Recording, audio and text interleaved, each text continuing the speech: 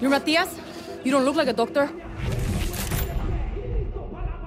What, these scrubs don't scream physician to you? Talia sent me to break you out. Fantastic. One problem? If I let go of this artery, he dies. I need a trauma kit. Guards keep the supplies locked in the pharmacy in the other building. I'll go get it. Rápido, por favor!